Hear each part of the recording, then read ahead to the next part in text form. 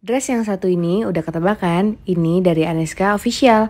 Bahannya yang selalu lembut karena menggunakan sutra satin, detailnya yang selalu rapi dan motifnya yang cantik-cantik, plus ada maskernya. Kalian yang mau cek IG-nya ya.